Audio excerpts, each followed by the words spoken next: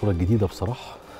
طيب خلونا الأول نرحب بضيفنا العزيز دكتور كريم عادل الخبير الاقتصادي ورئيس مركز العدل للدراسات الاقتصادية. منورنا يا دكتور كريم.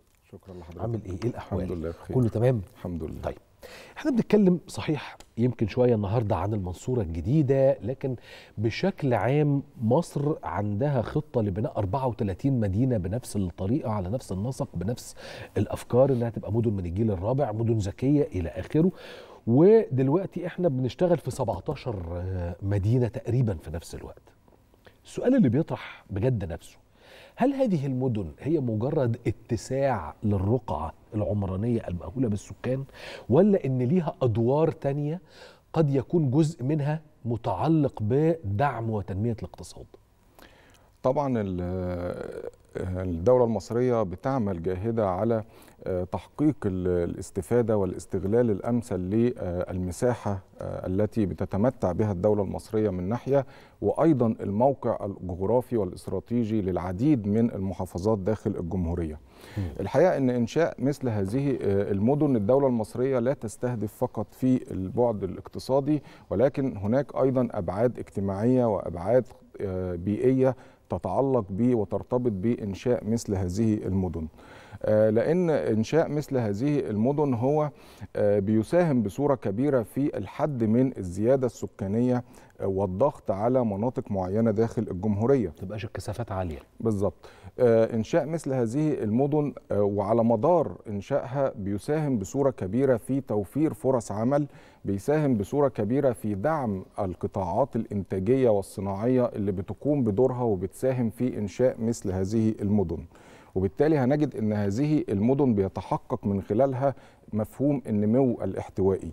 ده مفهوم اقتصادي. المقصود بيه إيه؟ المقصود إن الدولة بتراعي العدالة في توزيع ثمار التنمية بأن الجميع مستفيد من المشروعات القومية اللي الدولة بتقوم بيها. ليس فقط العاملين في هذه المدن ولكن أيضا الفرد والأسرة والمجتمع المصنعين والمنتجين كافة من له صلة وله ارتباط بإنشاء وتأسيس مثل هذه المدن. وبالتالي هذه المدن بتساهم أيضا في جذب استثمارات لأنها بتشمل العديد من القطاعات داخلها يعني على سبيل المثال مدينة المنصورة الجديدة. هنجد إنها بتضم منطقة سياحية ونجد إنها بتضم منطقة طبية ومنطقة سكنية ومنطقة تعليمية. كل هذه المناطق هي بتجذب استثمارات نوعية فيها. يعني على سبيل المثال هنجد إنها بتتميز بسياحه أو منطقة لليخوت. يبقى بالتالي الدولة من خلال هذه المنطقة بتدعم سياحة عالمية وهي سياحة اليخوت. وبالتالي بتدعم السياحة داخل الدولة المصرية بتستطيع إدخال موارد جديدة من النقد الأجنبي. أيضا هنجد أنها مدن ذكية أو مدينة ذكية. الدولة بتراعي فيها التكنولوجيا الحديثة بتراعي فيها البعد البيئي والمستدام للجيل الحالي والأجيال القادمة. وبالتالي أنا من هنا بستطيع جذب استثمارات جديدة في قطاع الاتصالات وتكنولوجيا المعلومات وقطاع الطاقة النظيفة والمتجددة. هنجد أيضا مدينة طبية ومدينة تعليمية متكاملة وبالتالي أستطيع جذب استثمارات للقطاع الصحي والقطاع التعليمي. جذب استثمارات يبقى أنا بتحدث عن توفير فرص عمل للشباب بتحدث عن تحقيق الرفاهية الاقتصادية والاجتماعية للمواطنين كافة على مستوى الجمهورية سواء بصورة مباشرة سواء بصورة غير مباشرة الكل مستفيد من هذه المشروعات القومية. ليس فقط العاملين فيها أو القائمين فيها ولكن على مستوى كافة محافظات الجمهورية هنجد الكل مستفيد الأجيال الحالية والأجيال القادمة. عظيم جدا. طيب السؤال برضو اللي بيجي على بالنا كلنا هل إحنا بنشتغل على مناطق بحد ذاتها؟ يعني والله أنا هعمل مدينة جديدة جدا قريبة من من العاصمة. فكنا زي ما نعمل مجتمعات عمرانية جنب العاصمة زي الشيخ زايد زي مش عارف 6 أكتوبر التجمع الخامس كلام من ده مؤخرا رحنا عاملين العاصمة الإدارية الجديدة. طب ما تيجوا نعمل مدينة جديدة جنب المدينة الشهيرة محافظة الإسكندرية. فبنعمل على مين؟ كان اللي ما جاش على بالنا ابدا إن إحنا في يوم من الأيام يبقى في عندي منصورة جديدة أسيوط جديدة الفشن الجديدة إلخ إلخ إلخ. أنا بعمل كده ليه؟ وبوزعها على النطاق الجغرافي بتاع القطر المصري كله ليه؟ ليه؟ لأن الدولة المصرية كل محافظة لها مزايا نسبية. يعني على مسيل على سبيل المثال مدينة المنصورة هي لها موقع جغرافي بيرتبط بالبحر المتوسط محافظة الإسكندرية ومدينة العالمين الجديدة والساحل الشمالي.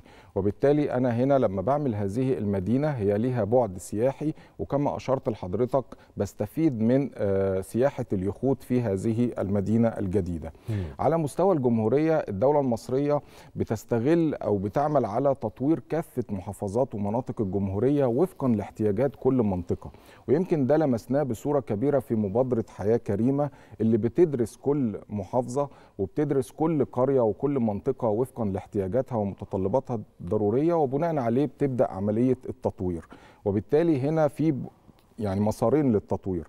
في مسار إن أنا بستغل استغلال أمثل ولموقع جغرافي معين أو منطقة معينة على مستوى الجمهورية والمسار الثاني إن أنا بحاول أطور المناطق وفقا لاحتياجاتها ومتطلباتها وأيضا بخلق حالة من التمكين الاقتصادي لأن أنا بوفر فرص عمل في هذه المناطق والقرى وفقا لقدرات وإمكانيات أهل أو أهالي هذه القرية. طيب أنا هروح للفاصل وعايز أستأذن بعد الفاصل إنه برضو في نقطة تانية بتدور في بالي متعلقة بإنه هل أنا بس بعمل مراعاة للبعد الاجتماعي وأنواع الأنشطة الإنسانية والأنشطة الاقتصادية المتعارف عليها داخل الإقليم فليكن مثلا محافظة الدقهلية منصورة في المنصوره الجديدة ولا إن أنا كمان بشتغل على إضافة أبعاد اقتصادية وأنشطة اقتصادية جديدة لنفس ذات الإقليم الإداري أو النطاق الإداري اللي أنا بشتغل جواه. هروح للمف... نروح للفاصل ونرجع نكمل كلامنا مع دكتور كريم عادل الخبير الاقتصادي ورئيس مركز العدل للدراسات الاقتصادية. استنونا.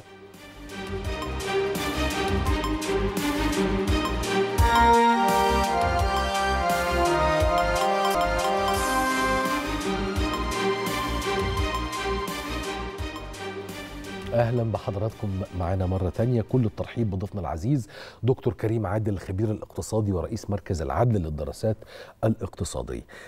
السؤال اللي كنت بطرحه مبني على إنه إحنا في أغلب المحافظات بتاعة الجمهورية باستثناء ثلاث أربع محافظات بيبقى غالبية النشاط الاقتصادي للأفراد إما بالزراعة أو مرتبط بالزراعة بشكل أو بآخر. يبقى زراعة إنتاج حيواني إنتاج داجني إنتاج ألبان تجارة في الزراعة تجارة في الحصلات أعلاف أسمدة حاجات زي كده. لكن على ما يبدو إنه إحنا بنحاول نعمل عملية تطوير في شكل الاقتصاد المصري وبالتالي يبقى في تعددية في مصادر الاقتصاد وفروعه وما إلى ذلك. إحنا بقى وإحنا بنعمل المدن الجديدة اياها دي بنشتغل إزاي؟ الدولة بتراعي عند إنشاء مثل هذه المدن أو حتى في حالة تطوير المدن الحالية إنشاء المناطق اللوجستية والخدمية اللي بتخدم هذه المدن من ناحية وأيضا بتخدم المدن القريبة منها. يعني على سبيل المثال لو بنتكلم على قطاع الزراعة هنجد إن في كل مدينة الدولة بتراعي إنشاء مدن تتعلق بالتعبئة تتعلق بالتخزين لهذه المنتجات الزراعية. وبالتالي أنا هنا بوفر على سكان هذه المدينة من ناحية وبقلل من تكلفة هذه السلع لأن أنا بقلل من تكلفة النقل وتكلفة التخزين واللي كان بيترتب عليها ارتفاع في أسعار السلع للمواطنين. وبالتالي هنا بوفرت فرص عمل للسكان وللشباب. ومن ناحية تانية حافظت على جودة منتجات وسلع معينة وأيضا ساهمت في جذب استثمارات جديدة لهذه المناطق الإنتاجية أو المناطق اللوجستية والخدمية. من شأنها توفير فرص عمل من شأنها توفير أو تطوير أو المساهمة في تطوير هذه المدن وإنشاء مدن جديدة أخرى. يعني مثلا كنت ألاحظ أنه زمان كنا نبقى حافظين يعني يقول لك مثلا المناطق الصناعية في مصر المنطقة الصناعية 6 أكتوبر المنطقة الصناعية العاشر من رمضان. وبس. وكأن ما عنديش أي حاجة في مصر تاني أعرف أصنع فيها. مؤخرا لقينا إن أنا بعمل مصانع بتاعه تكنولوجيا متقدمة في بني سويف مصانع تليفونات محمولة مصانع تلفزيونات مش عارف ال سي دي ال اي دي مش عارف الحاجات الجديدة دي. ألاقي بعمل منطقة صناعية في أسيوط ومدن ذكية. ألاقي إن أنا قاعد عمال شغال فيه إن أنا بخلق مدن صناعية في أماكن ما كانتش حتى هم أهل في احلامهم يتصوروا إن هيبقى في منطقة صناعية هنا. وكانت زمان تحصل دايما مناقشات ليه يا جماعة ما تعملوش منطقة صناعية عندنا هنا في المحافظة؟ إحنا عاوزين نشتغل عاوزين نصنع. إيه التغيير اللي طرأ على ذهنية الدولة لو صح التعبير؟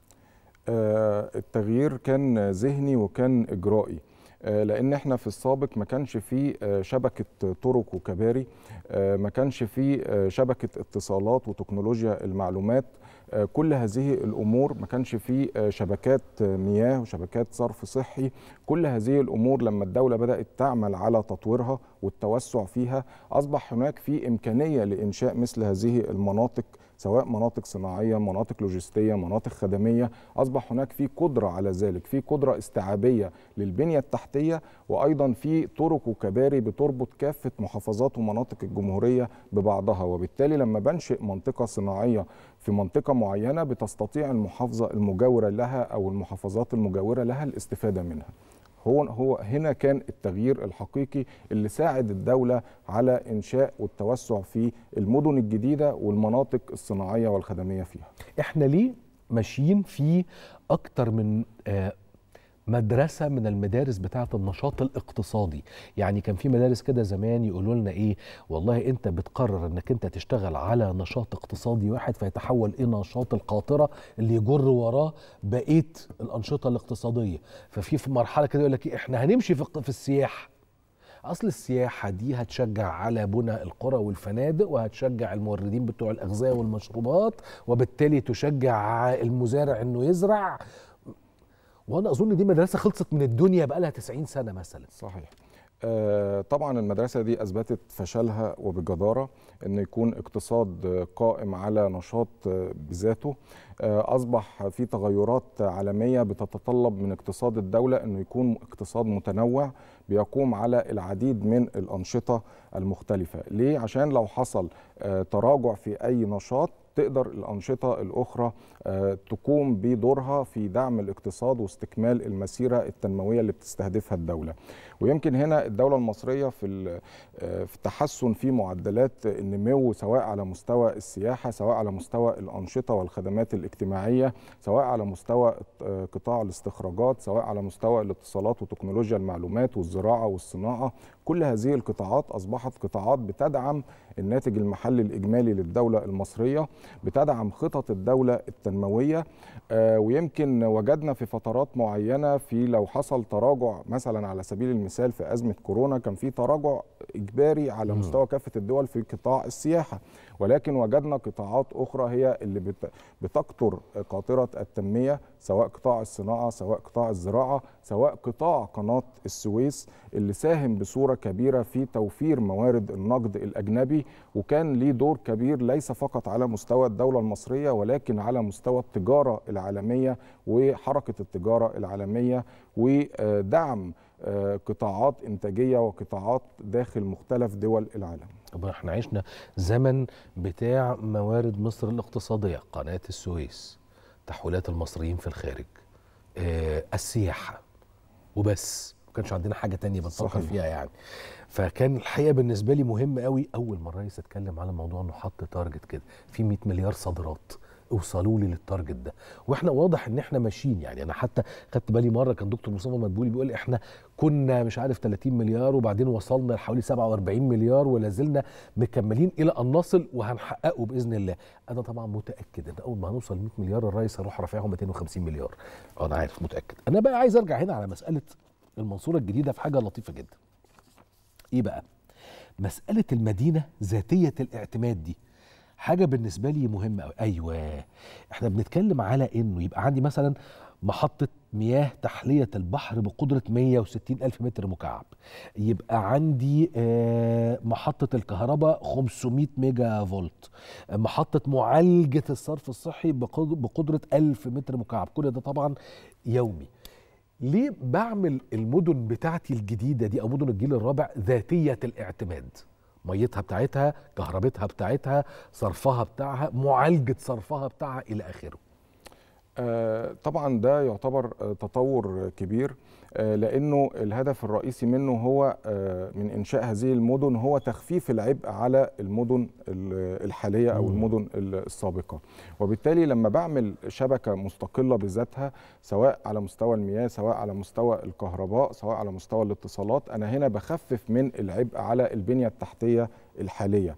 وبنشئ هذه المدن وفقا للمتطلبات الحديثة لأنها كلها مدن بيئية الدولة بتراعي فيها البعد البيئي البعد اللي بيحافظ على البيئة وبيحد من تغير المناخ. يمكن ده الهدف الرئيسي من أن تكون هذه المدينة أو المدن الجديدة هي مدن مستقلة بذاتها.